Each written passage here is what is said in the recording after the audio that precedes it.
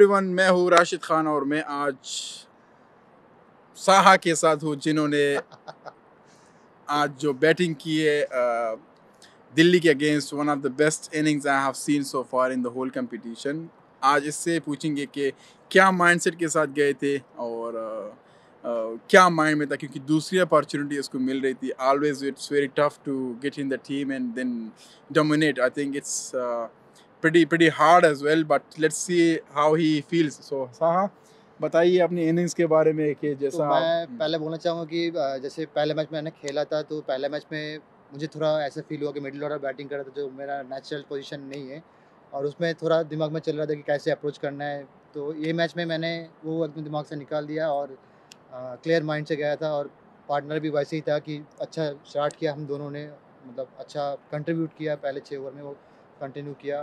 तो ज़्यादा दिमाग में रखेंगे तो मुझे लगता है कि कुछ कुछ बार वो काम नहीं करता है तो इस बार वो काम किया टीम के लिए भी और मेरे लिए भी। That was very good no doubt कि जिस तरह उसने टीम के लिए काम किया 220 on the board it's always good to see as a bowler uh, to defend that. Thank you so much और मेरा एक क्वेश्चन है आपसे कि आपने जैसे तीन ओवर में चार ओवर में सात रन तीन विकेट ने लिया है ऐसे हम लोग होपफुल नेक्स्ट मैच में या लास्ट दो मैच बचा उसमें देखेंगे कि सात से भी कम रन ऐसे पॉसिबल होगा। कोशिश यही होगी कि जितना भी रन दे दूँ और टीम के लिए जो रिक्वायरमेंट है उसके मुताबिक जाऊँ। तो यही माइंडसेट हमेशा होता है कि टीम के लिए कुछ करूँ you know never had that thing in the mind कि मैं अपने लिए विकेट ले लूँ ना। जो टीम को रिक्वायरमेंट होती है, यही माइंडसेट में माइंड होता है। आज भी यही प्लान था कि रन ज़्यादा है, लेकिन अभी इस रन में मैंने अच्छी इकोनॉमी के साथ बॉलिंग करना है।